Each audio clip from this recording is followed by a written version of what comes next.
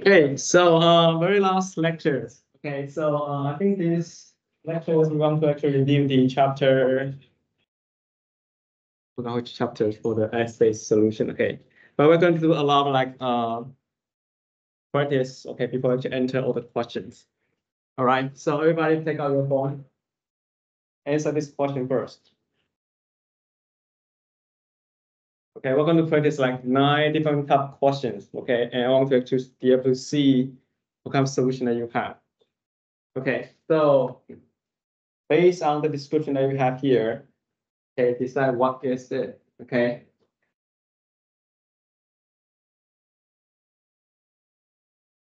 Okay, we have four people respond. Okay, hopefully we can actually get up at least ten, so we can actually explain this thing.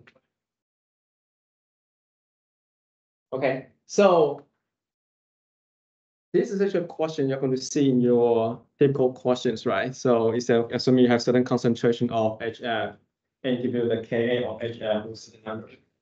Okay, so this is actually a very standard uh, of questions, and I hope by now everybody can see this is actually a weak acid solutions, right?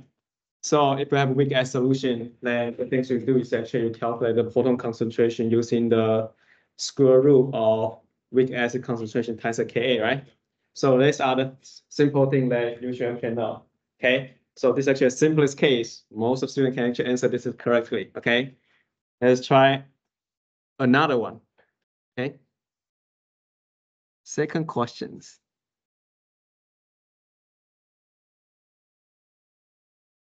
What's the solution?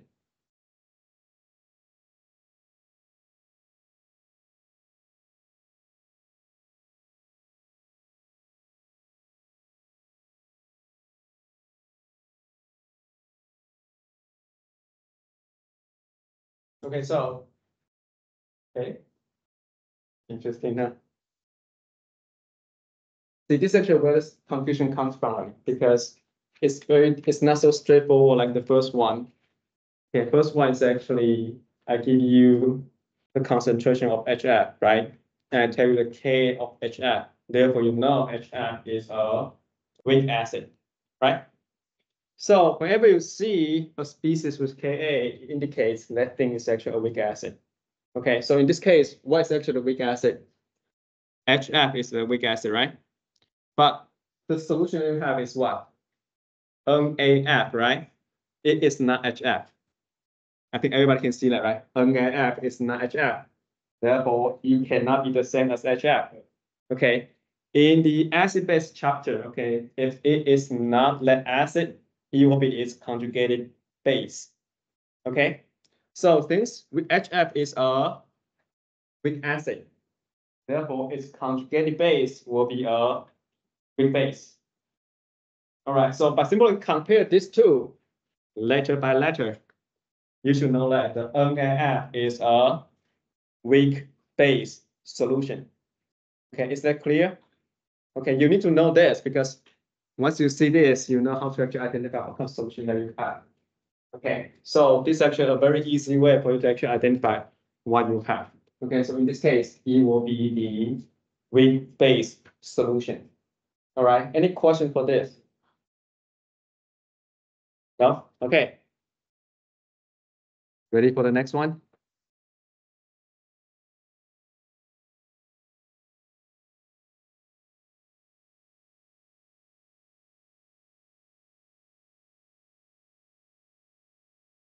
Okay, so now you have one N HF, one N NaF. The K of HF is one point five times ten to the next six, right? What is actually the solution?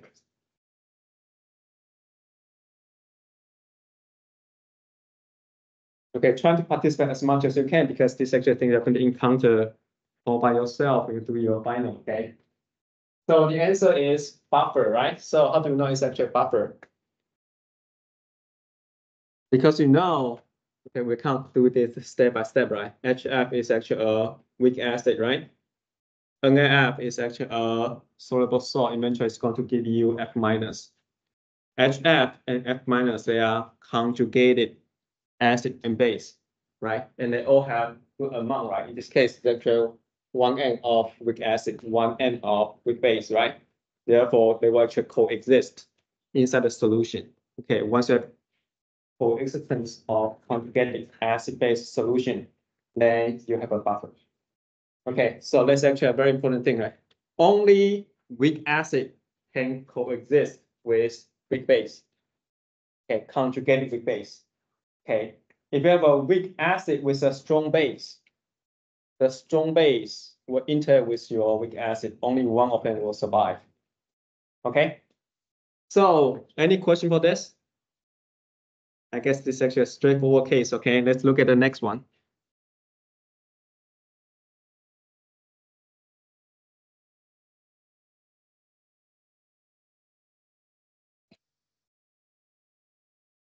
Okay, so right now you have one NHF, 0.5 N and NaOH. What type of solution do you have?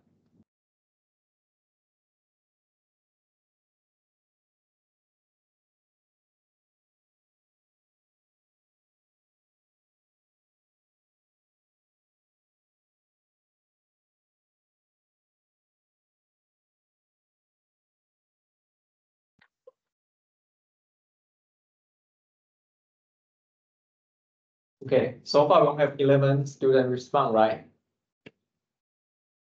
You can see, we actually got start got confused, right? So we don't really know what it is. Okay, so how do we actually make judgment of all these things? Okay. The answer is what? The answer will be the buffer. Okay, so how do you know it's actually a buffer?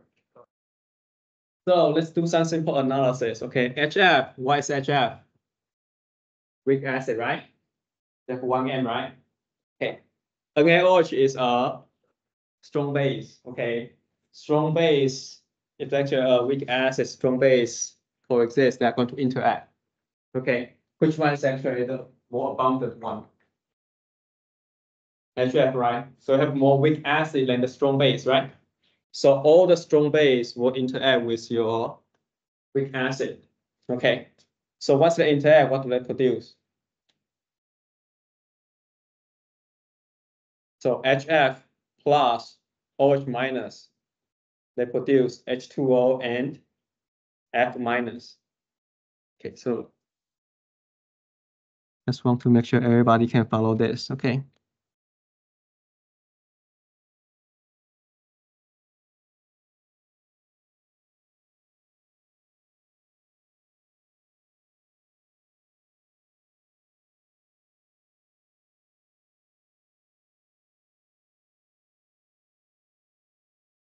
Right? So this actually the reaction that you know is going to happen. Okay, you can even generalize this concept as weak acid. You can actually use, I typically use HA to represent weak acid. Okay, plus OH minus. That's going to give you H2O plus its conjugated base, right? So you have the things eventually going to coexist together. Okay, so this right now, all the OH minus is actually less abundant, will be fully consumed, right? So this guy will be fully consumed. Okay, so this guy is coming from your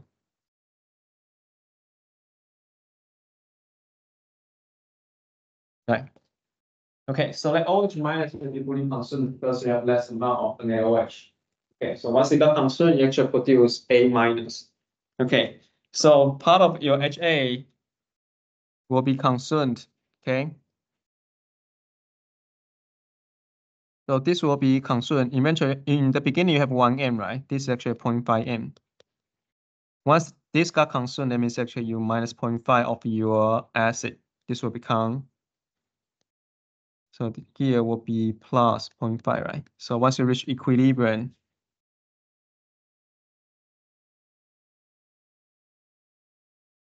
you're going to have that much HA and A minus right? So right now you have a situation where your conjugated acid base, they start to actually coexist inside your solution, okay? And this go back to our previous example, right? Then you know you have a buffer solution. Okay, so I guess I should cover this one in the previous question too. Okay, if you have a buffer solution, how do you calculate your pH? HH equation, right? pH equals pKa minus log of acid over base, right? The acid will be your weak acid, okay? Base will be actually your weak base concentration. All right, so, so everybody follow the thing so far? Okay, because this is actually part that confuse the student the most. Okay, this is the part that make our average go down quite a bit for the midterm two. Okay, so I guess even by now, many of you may still feel confused, okay? Since we're going to do it again for our final, you need to actually get the things uh, correctly. All right? Okay, next question.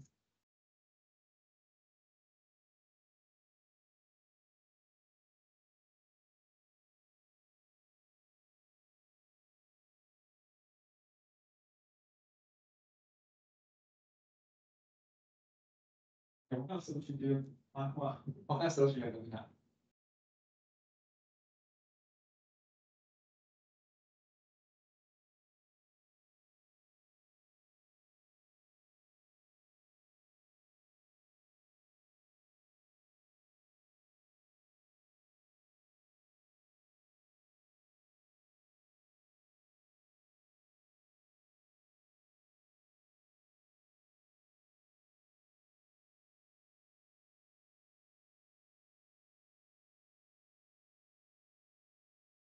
Okay, so majority you say strong base, right?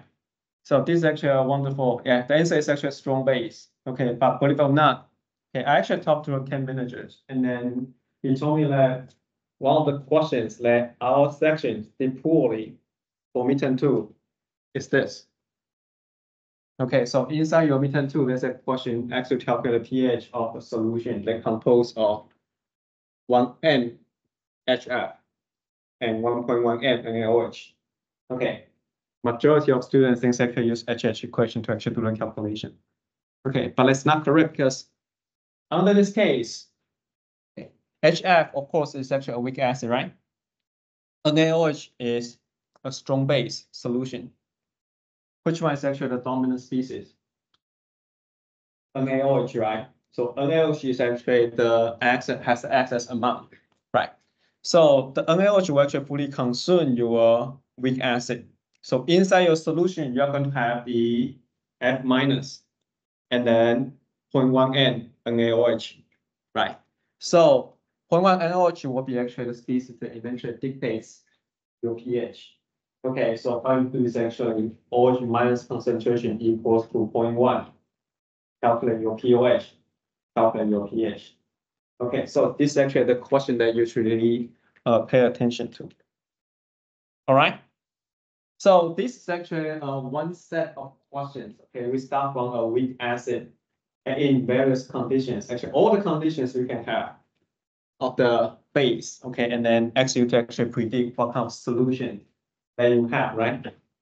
So in the next four questions, four or five questions, okay, we're going to reverse this. We're going to start with uh weak base, okay, and see whether can you can understand the same thing. All right. Okay, first thing first.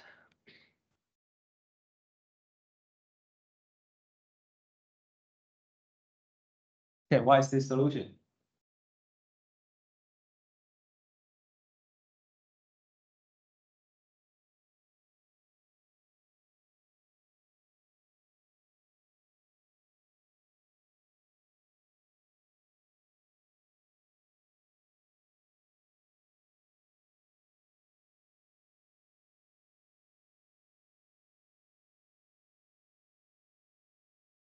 Okay, so this apparently is actually a weak base solution, right? So how do you know?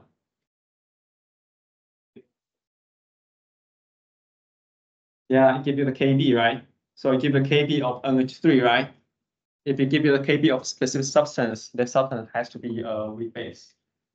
Okay, just like the one HF, right? It give you the Ka of HF, indicates HF is actually a weak acid. Here it did not give you Ka, it give you Kb, right? Kb of certain substance means that substance is a weak base, right? In this case, NH3 is actually a substance that got provided, right? And if you look into the solution that you have, it's one N NH3, right? It's exactly the same as the one that was provided, therefore you know you have a weak base solution. Okay?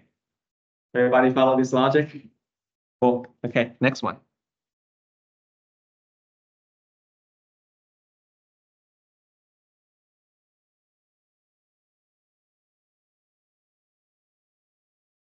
Okay, so what's the solution?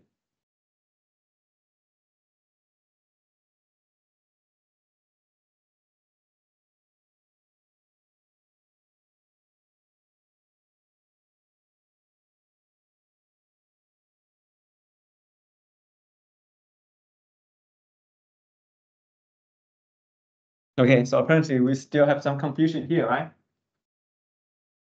So majority of you say it is a weak acid, some they say weak base, some they say buffer. Okay, majority says weak acid, right? Okay, so the answer is actually weak acid. So how do you know it's actually weak acid? Okay, so like I say, right, in the question typically it provides Kb value of certain substance, right? In this case, the substance is NH3, right? It is less substance and only less substance is a weak base. Okay? So if you look at the questions, what is actual solution you have?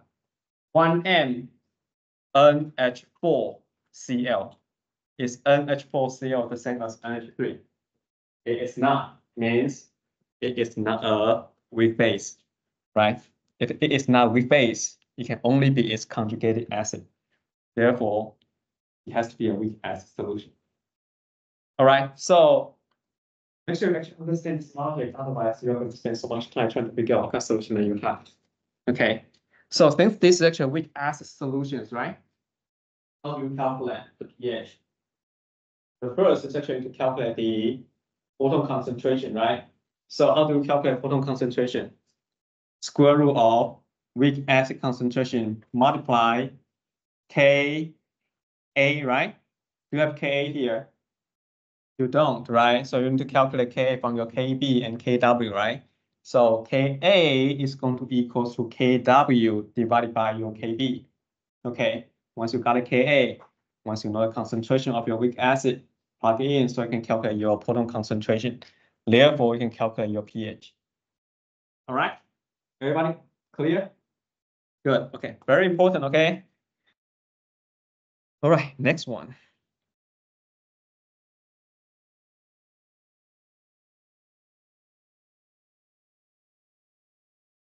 Okay, so what is this solution? One NH3, one NH4Cl. The Kb of NH3 is certain value.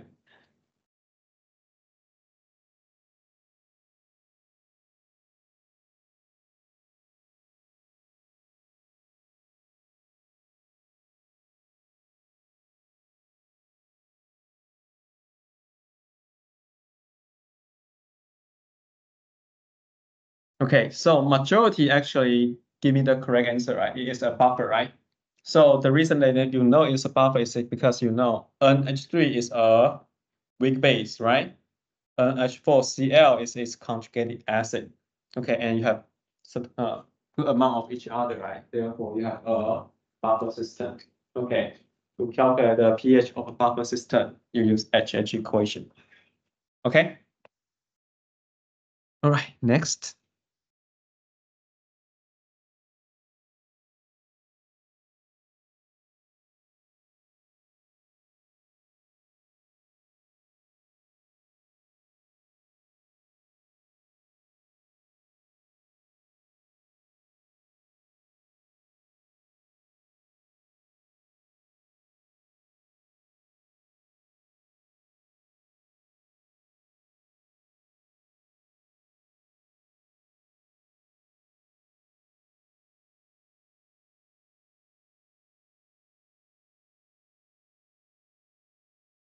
Okay, so most of you answer buffer. Yes, the true answer is actually buffer, right? So how do you know it's actually buffer?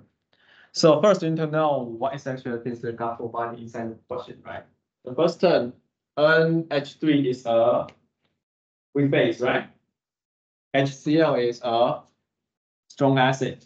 Okay, so if you have strong acid and a weak base, they are going to interact, going to cancel each other. Okay, which one is actually the dominant species? NH3, right? We have more NH3 than the HCl. That means all the HCl will be consumed, right? So once it got consumed,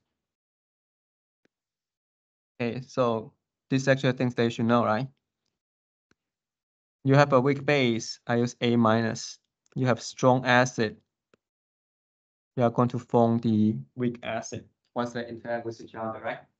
So right now you have excess amount of weak base, NH3, right? You have small amount of strong acid. Okay. Is going to be fully consumed. This will be consumed to a certain extent. At the same time, you're going to produce that much of weak acid, right? So in the end, you're going to have 0.5 A minus and 0.5 HA, right? So you have the weak acid, weak base coexist. Therefore, you have a buffer solution. Therefore, HH equation. All right. Next one.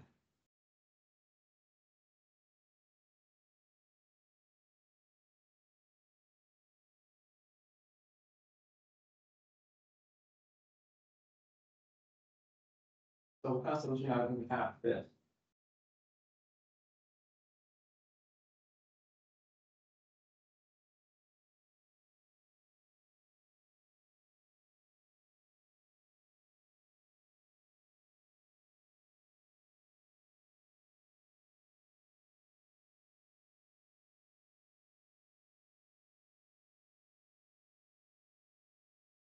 Okay, so the true answer is actually strong acid. Okay, so again, if you look at your solution, you have NH3, okay, and then which weak base, right? And HCl is strong acid. HCl is actually in excess, right? That means they're going to interact and consume each other. All the weak base will be consumed. The only thing that will remain inside your solution is actually your strong acid and then also the interacted weak acid, right? A strong acid will be the species that dictates the pH. Okay, so all you to calculate is actually the pH from that remaining strong acid. Okay, so in this case, your strong acid will be still have 0.1 m, right? So your H plus, the proton concentration equals 0.1. So your pH is negative, negative log 0.1, which equals to 1. Okay, so this I guess ten different questions actually summarize all the possible combination of solution you're going to have. Okay, so make sure, make sure you can actually see those things clearly. Okay, if you didn't actually answer every single question correctly yet, okay, go back home and then practice it again. Okay, make sure you've got that unique eye to see all this relationship. All right, so that's actually how we are going to end start uh, today's lecture. Okay, so any questions? Okay. If there's no question, let's look some examples, then you will see why this section is so important. Okay. All right. Get back to here. We only have a couple more questions to go through today.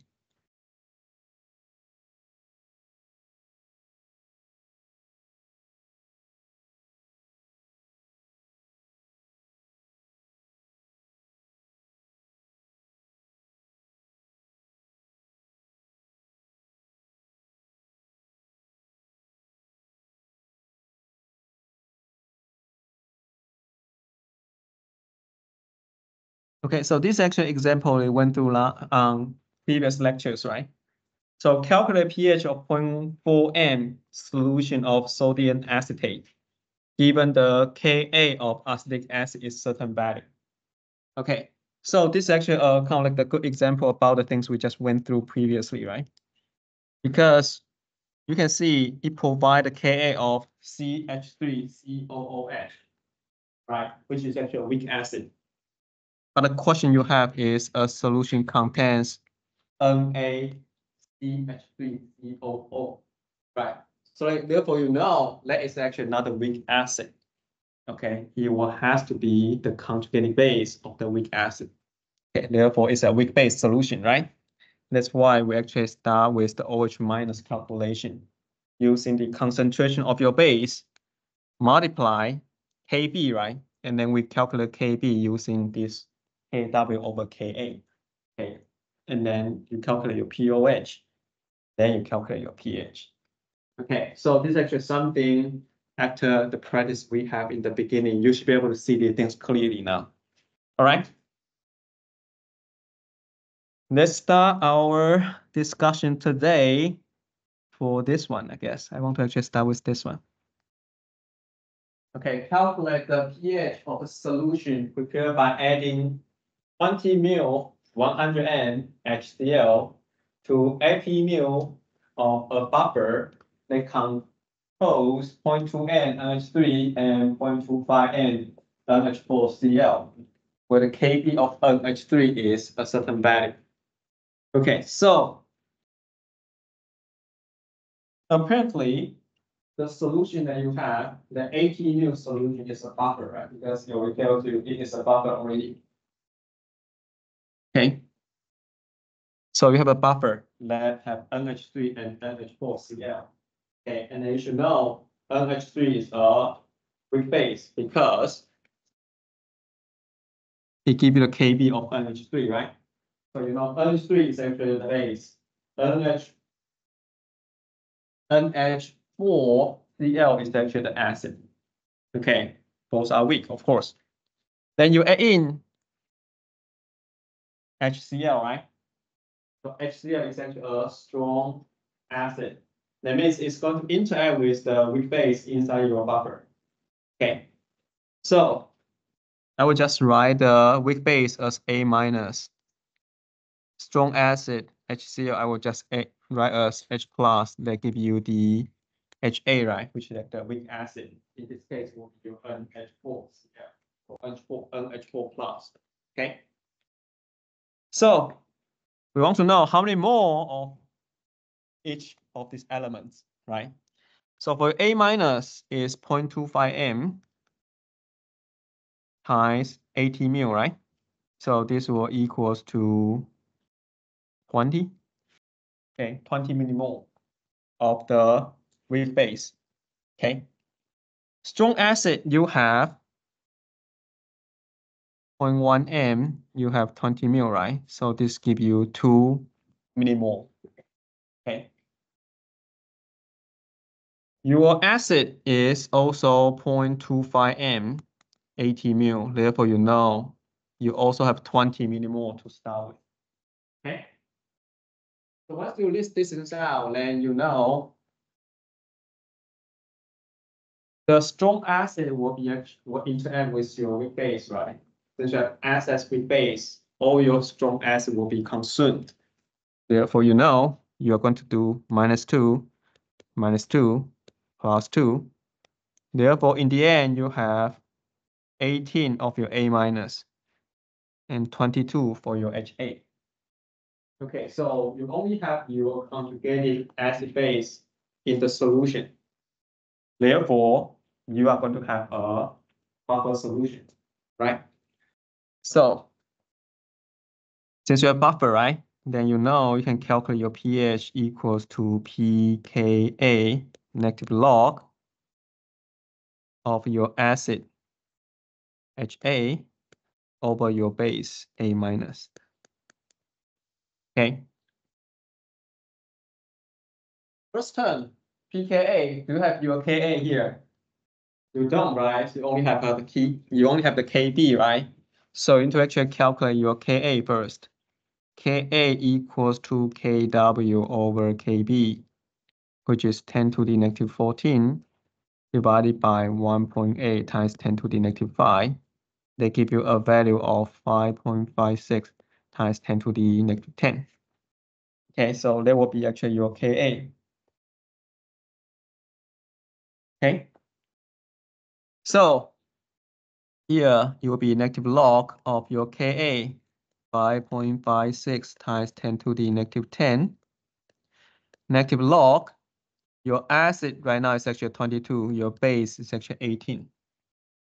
Okay, so once you do that calculation, you'll be able to get a pH of 9.17.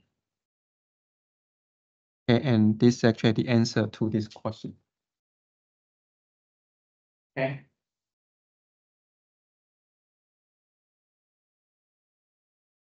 Any questions for this?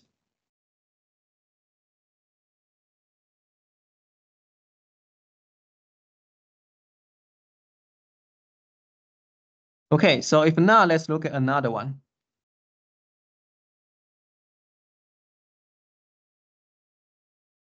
So it says hydrazine NH2 NH2 has a Kb value of 3.6 times 10 to the negative 6.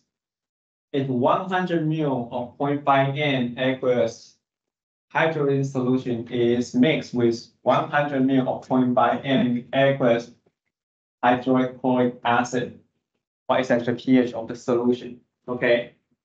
Thing first, you need to know what is your hydrazine weak base, right? How to know it's actually weak base? Because it provide you the Kb, right? Therefore, you know this guy is actually a weak base, right? They say they want to mix this weak base with hydrochloric acid, which you know it should be a strong acid, right? Okay. And then the amount you add in the weak acid and strong base is what? 100 ml 0.5 N of weak base, 100 ml 0.5 N strong acid. They have the same amount, right? Okay, so they are going to concern each other fully, right? So if you write in equation, weak base, you can write A minus. Strong acid is H plus. This and that is going to fully interact to produce what? HA, right? So like inside your solution, you are not going to have A minus. You are not going to have H plus. All you have is what? HA. Okay, HA is a weak acid, right? So since it is a weak acid, the pH can only be lower than 7, right? 7 is neutral, right? Base, you have pH larger than 7 as is actually smaller than 7. That's actually how we solve this question. Okay, since you know you have a weak acid, the pH will only be smaller than 7. All right. So using this simple concept can actually help you to solve and get the located the correct answer quickly. Okay, any questions so far? Okay, so let's see, what is the next question? Okay, it's QSP and KSP. Okay, so the very last one here about the acid base. Okay. So this question asks that if today at certain temperature, the percent dissociation of an acid is of in this concentration is 8%. Calculate Ka of this acid. Okay, so you need to know what percent dissociation is, right? Definition of that is what? The percent dissociation means actually the proton concentration over your weak acid concentration times 100%. That's actually the percent dissociation. Okay. Because we know this is actually a weak acid, right? How do you calculate the proton concentration? It's actually the square root of weak acid concentration times your Ka, right? So this you can calculate using this. Okay. And then this things divided by your HA is going to give you a value of 8%, which is A over 100, right? So here you know the acid concentration is actually 1.4, right? Therefore, this equation becomes square root of 1.4 times your Ka divided by 1.1.43, sorry. Okay, this should be equals to A over 100. Okay, so using this one, you can calculate your Ka, right? Therefore, your Ka is going to equals to 9.2 times 10 to the negative 3. Okay. You have 9.2 times 10 to the negative 3 in your multiple choice. You don't, right? The one that's actually closest one is what? This one, right? 9.9. So why let's actually discrepancy here? Yes, so the problem, okay, not the problem, okay. All the calculation, all the equation I give you is actually, I assume, I assume the small x approximation will always be valid. Okay, but if you look at the Ka here, the K is actually not extremely small, right? Is nine point something times ten to the third, right? Previously, we say that if you want to apply small x approximation, then Ka has to be smaller than ten to the negative four. Okay, so this means actually the small x appro- approximation is not perfect here, but still, you can actually provide a very accurate estimation already. Right, even though there's some discrepancy, but you can safely pick up the one that's closest to this answer. Okay, so in this case will be nine point nine times ten to the negative three. Okay. So these are the some examples I want to actually go through together with you, so I can reinforce that your concept in determining what kind of solution that you have. Because once you know what kind of solution that you have, calculation is actually quite straightforward. Okay. All right. Any questions?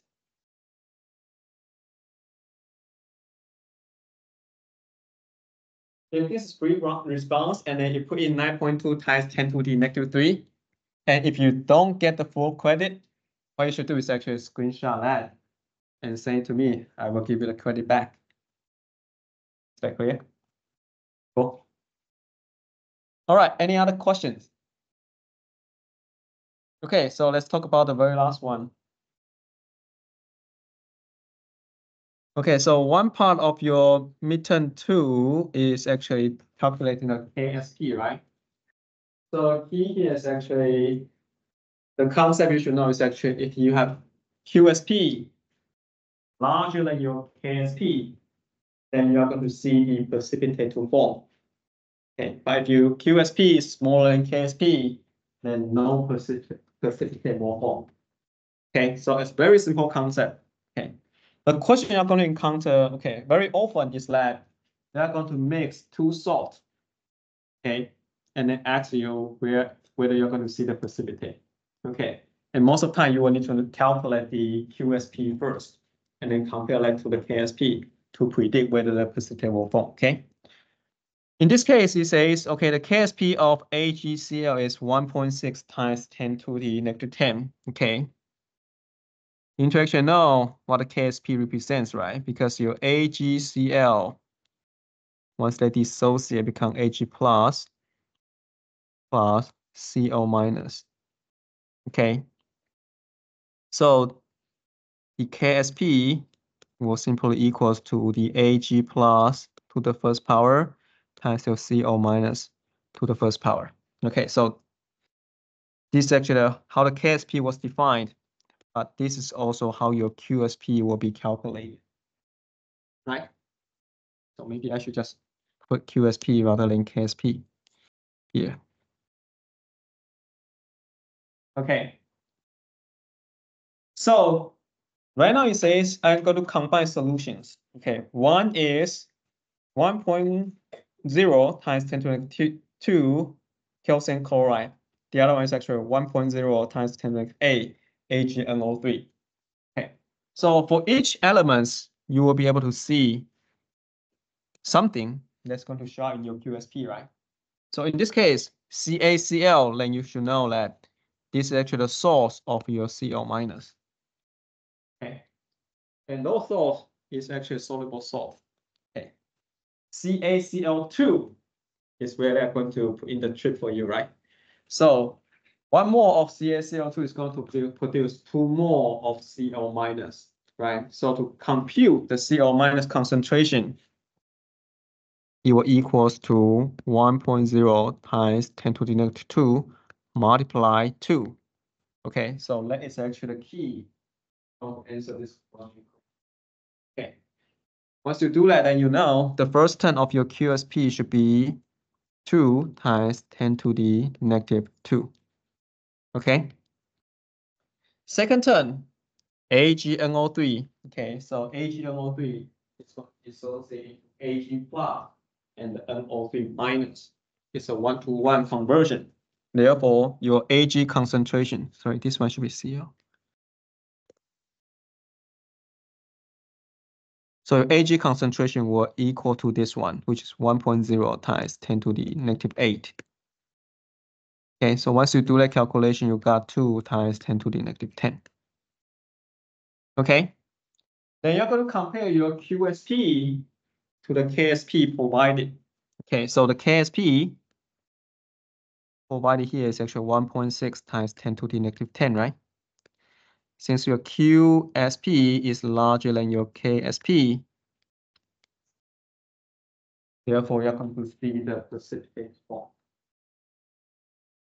All right. So the trick they want to play here is actually, do you have the ability to recognize that the CaCl2 will give you the effective Cl minus concentration of two times ten to the negative ten.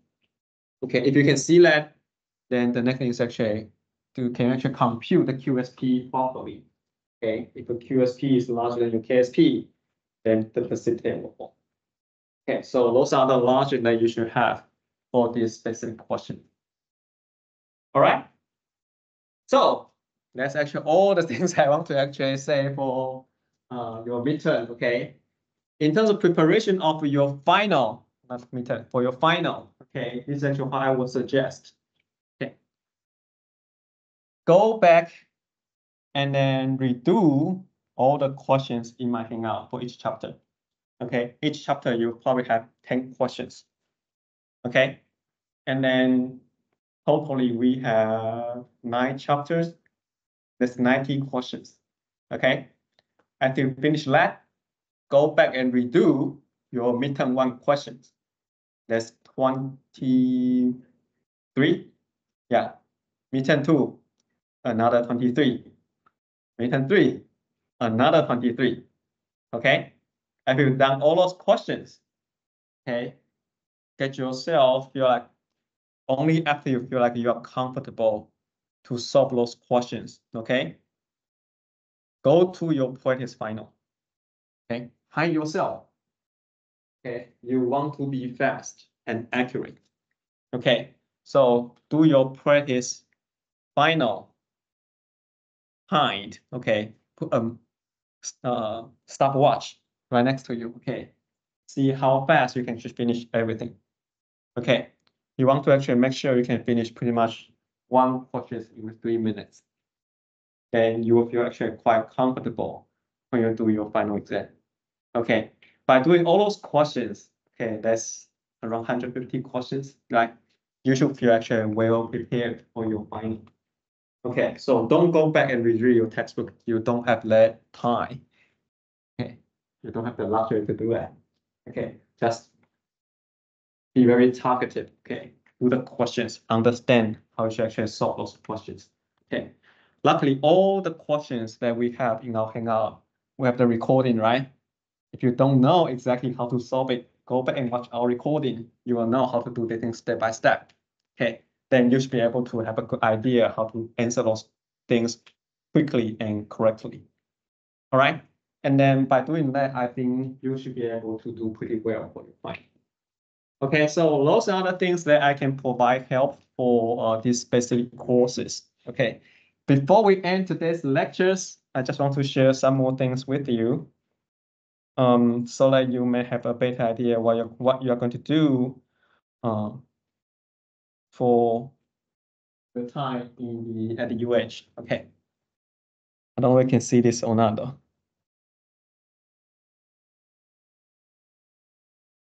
Okay, everyone can see this? Okay, so what's this? Hmm? That's what test takers over the semester. This one, no, no, no, no. This is, so you guys know, uh, when you apply for uh, graduate school or when you apply for the medical school, okay, when you apply for the higher educational position, okay. You need a letter writer, right? This is actually one letter writer is going to receive. This specific one is actually the one I received from Harvard. Okay, these are the things they care about. You guys never see this, right? Because you are not the one who's going to write all the things and no one want to share this information with you. Okay, therefore, what do you do? You talk to your friends, right? And then you feel like okay, something is actually so important, but not the others. Right? So then you feel like you are ready to apply. Okay, you feel like you have all the informations. Okay. Then you start to see the things then compare this one to your current knowledge, you realize there's actually a quite a lot of discrepancy between the two, right? Then you need to ask yourself, which one should I actually believe? This one is actually the real life example, okay? So during the process of growing up, okay, we actually trying to learn specific rules that make sense to you. Okay, may not necessary to make sense to everybody, okay? And you want to actually collect that group of rules to run your own world, right? You want to make sure the rule that you collect is true. Okay, and the way you can actually collect the good rules is that you talk to someone that is actually knowledgeable. Okay, don't just talk to your friends. Okay, talking to your friends is good to ease your nervous, I guess. Okay, but may not be very helpful because he won't know this either. Right? You want to talk to someone who is actually knowledgeable. Okay, whose opinion is meaningful. Okay, and those people are the people that can actually help you for your life. They, those are the people who can actually uh, help you to achieve your goal. Okay, so I want to actually point out a few things I think is actually so important that every student should actually know, so that you can, prepare for the rest of your stay in at the UH. Okay, most of it is actually the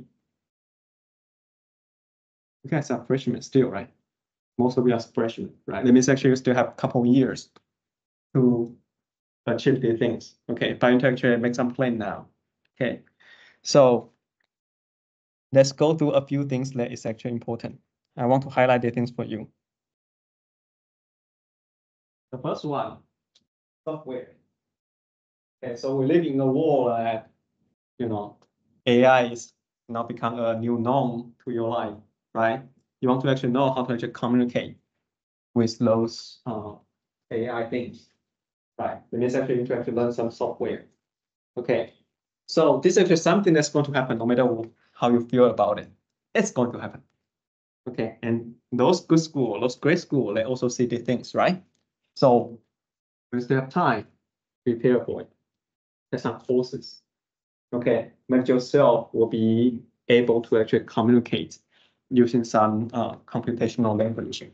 Okay, so that is something that is important that I want you to actually know. Okay. Second, communications. Okay, so communication is actually one of the most important things that can bring you to a level better than you think you are. Okay, so communication become a very important thing in the future. Okay, right now we live in this era that we have a lot of information, right? But not everybody can actually absorb the information. Okay, so how to actually commu communicate effectively? Okay, so that we can understand each other quickly is something or some ability that you want to have. Okay, so many of you, okay, including me when I was young, okay,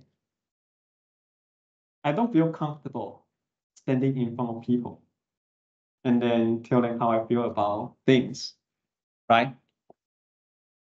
But if that is actually the mindset we always have, we will never have a chance to actually improve our ability to communicate. Okay, so starting from something simple, okay, talk to your friends, talk to your classmates, trying to be the coach or some of them. Okay, teach them how to think. Okay, through practice, okay, your communication skill will be improved greatly after three years, but you need to actually start it early. All right. Okay, so the third one, I don't think that's so critical. This one is important too. Listen. Okay, be cultural. Okay, so most of the time when I talk to a students, I say, hey, you did not do this right. Okay, you should do, okay, this is actually not correct. Okay, the first response from most of students is they try to defend themselves. Okay, but defending yourself in front of your instructor or mentor is pointless. Pointless. Right?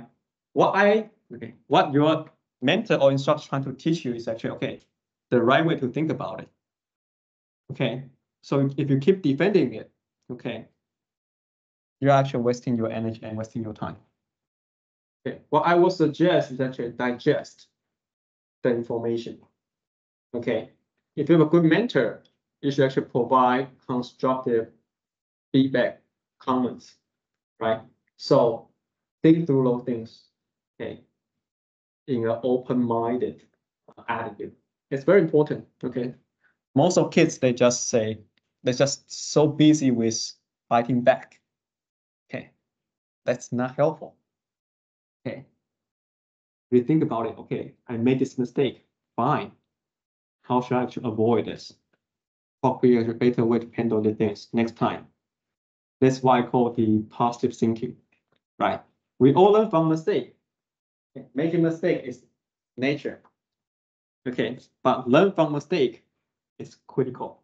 Learn from mistake is actually things that can distinguish you from others. Okay, so do this, okay? Listen carefully. Okay? And then some of them is still too far for you guys, okay? But I'm going to point out the one that's important. There should be actually one more.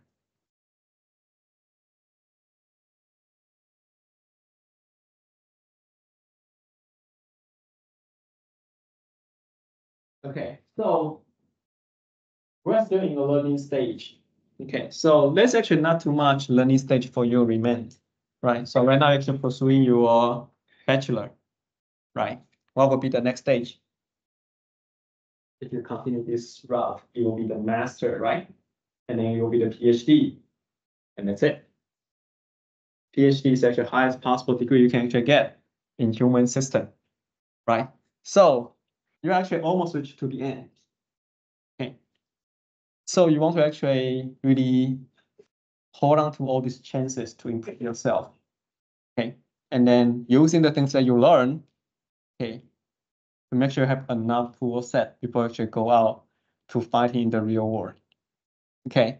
So in order to do that, okay, you want to be flexible. Okay. Once you see opportunity comes, they can actually make you grow, when you become better. Okay, be flexible. Okay, I know everybody was talking about the work-life balance. Okay, so I got asked this question all the time too, right? So people ask me, do you have an actually good work-life balance? Okay, so this is actually my life. Okay, when I was an assistant professor. Okay, I come to the lab at six a.m. I leave home. I go back home at five thirty. Monday to Friday. Okay, I come on Saturday, six AM, go back home at noon. Okay, every week I work more than sixty hours. Okay, do you think I have work-life balance? How would you say that? Do you think I have work-life balance? So who decide whether you have work-life balance? Hmm? you, right? Yourself, right? So do I actually feel I'm depressed? Okay, I need to actually, you know, throw away all the things that's relevant to me. And then I only focus on the things I'm doing in at school. Of course not, right? So I guess that's who actually participate in this very last lecture is actually the people who actually know me quite well now. Okay. What is the things I value the most? My family, right? Who's that?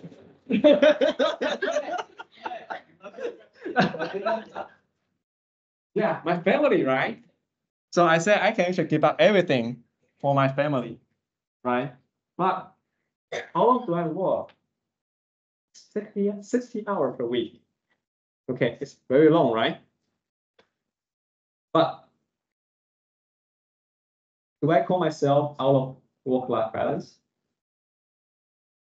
No, I do not. Okay, so the things I do is actually I only focus on the things that I can do at school during the 60 hour. Once I go home, no one can find me. I belong to my family. Yeah, really. I mean, I did not ever send an email to my student anymore. Okay, so sometimes you actually send me email during the weekend. I don't really like it. But you know, out of courtesy, being a good uh, mentor or advisor or instructor, I still reply to you. But you know, the work-life balance is really it changes.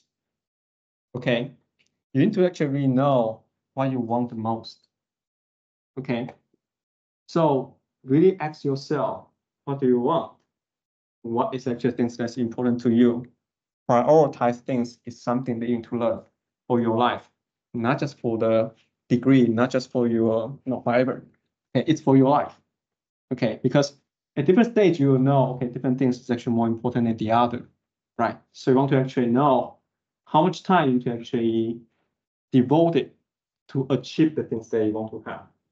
Okay, so with that being said, it also tells you that a very important thing that you should know is that be practical. Okay, so if you say I want to be a professor, but only willing to devote 20 hours per week, that's not going to happen. Right?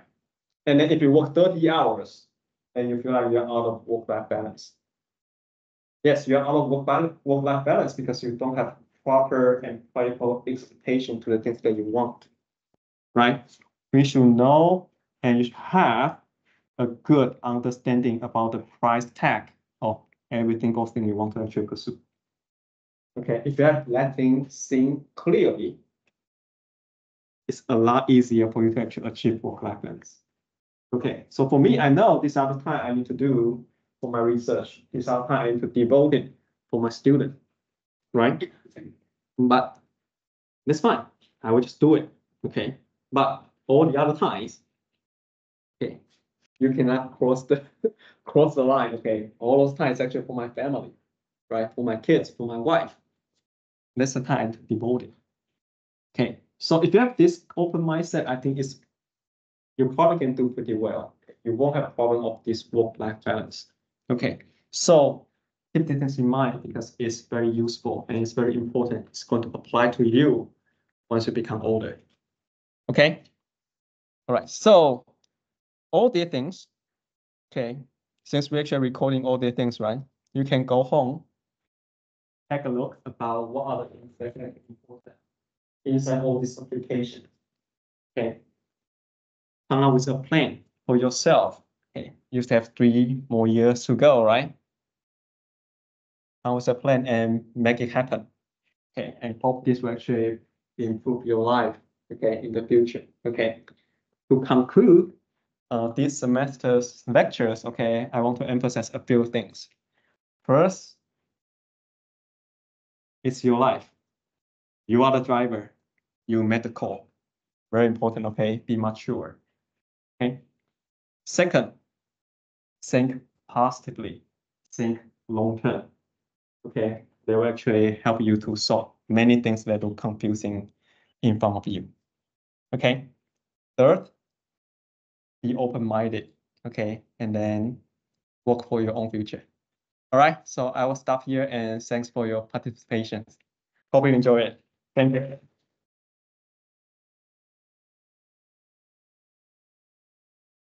All right, good luck with your final, okay?